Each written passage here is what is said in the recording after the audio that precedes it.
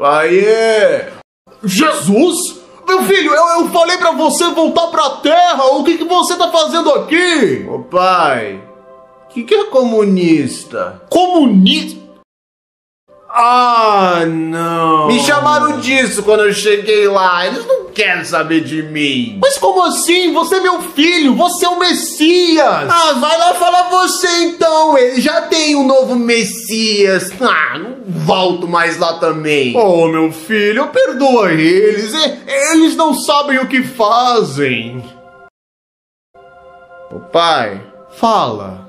A gente pode voltar com os dinossauros?